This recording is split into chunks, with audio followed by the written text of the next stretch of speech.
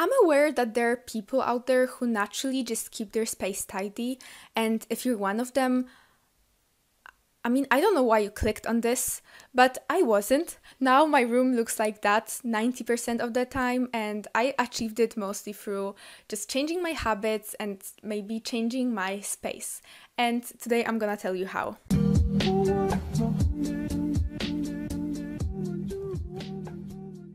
Hey, it's Natalie, and just to give you a little bit of background, I always used to be the messy one. I always had a messy room, clothes ri- lying all around the floor and the chair.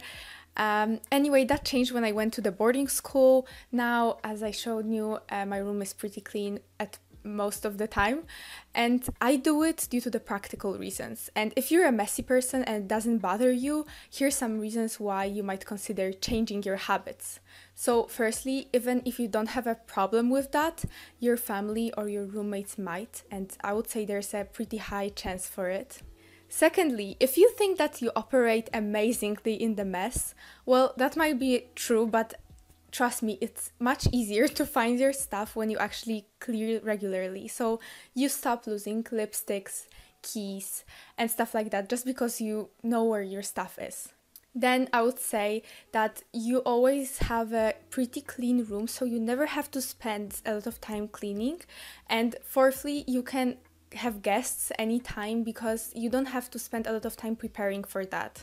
And the fifth reason is that you can't really procrastinate by cleaning for a long time because you don't have that much to clean. I would say that becoming a tidy person can be achieved through improving into areas. Firstly, your habits, and secondly, uh, optimizing your space. And I will first go through the habits because I personally think they're the most key here. And I'll tell you what kind of things I do in terms of my habits just because, well, yeah, I do them. So, every day, I think when you wake up, it's great when you make your bed, and this is something that everybody talks about, so I guess you already heard it multiple times. Uh, another thing is that in the evening, before you go to sleep, I would suggest you spend like two minutes cleaning your desk, just putting things in place. So in the morning you wake up and your room is already pretty de- decent. Then every evening, if you have a problem with that, really try and put your clothes in place. At least have some designated space for them. Uh, if you want to wear, wear them again, if not, just put them in the laundry basket. And now every week, and I think this is really the most important part, I have a day where I just clean my room. So I spend like one to two hours cleaning my room, and I mean, not only my room, but just cleaning. So I do stuff like changing my sheets, wiping the dust, uh, just vacuuming the floor. I also have to clean uh, the bathroom, so yeah, that's just one of my chores. And I do those things then. If you're curious about what I do, here's my checklist. I I literally made a checklist because the checklist is kind of a way to go because this way you really control what you do exactly when and it it feels like you know what you have to do and it makes it way more effective and more satisfying because you can tick those things off. And yeah just makes cleaning more fun. And then every month i would say i just clean my wardrobe and clean my cosmetics. So i put everything out and then you know i clean everything and uh, put the stuff in in the orderly way uh, but this is just an addition if I feel like I need to do it. And then every kind of six months, I try to do the deep cleaning. So I take every wardrobe, every shelf I have, and I put everything out and I decide what I keep and what I donate, what I throw away, uh, stuff like that. So I just don't have the things that I don't need anymore. And this is interesting because I think that two years ago when I was really messy, uh, I just operated the other way around. So I basically allowed my room to become really dirty. Like I would, I mean, I would clean from time to time, like vacuum the floor and stuff like that.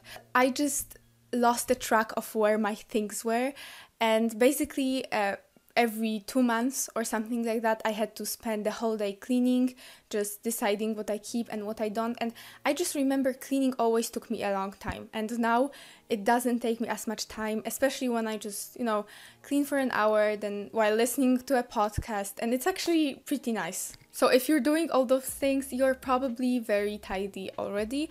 But I would say there are also a few things that you can improve in your space to make it easier for you.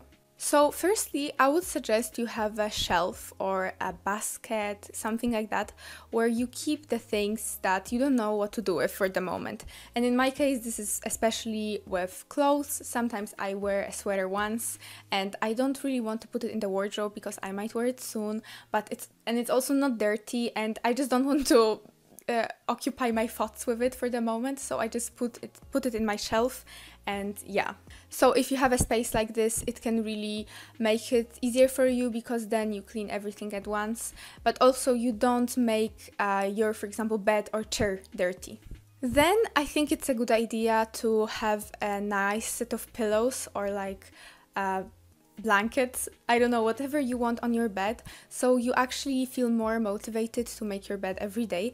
And then you're more motivated to like keep it this way. I noticed that since I redecorated my room and changed my bed, I felt much more motivated to actually uh, keep it that way because, you know, it's so nice, you don't want to ruin it. Um, and lastly, uh, another reason for which it might be difficult for you to stay just tidy is that you might not have enough storage.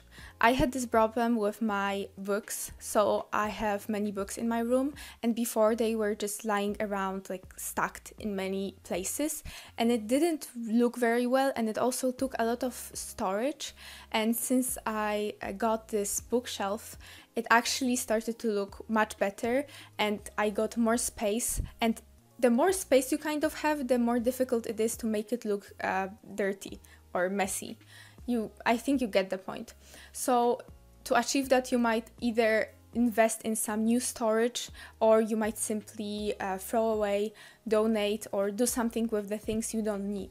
So guys, that's basically it. Uh, I hope you liked the video. It's kind of weird when I think about it because I basically talk about how to keep your, how to clean how to clean regularly, uh, which is a weird topic, but maybe it helps some of you because myself, I didn't realize I had a problem and that life was a bit easier if you managed to keep your space clean. So, yeah, if you like this video, uh, like it, you can subscribe to my channel. If you didn't, uh, tell me why, and yeah, see you in my other videos.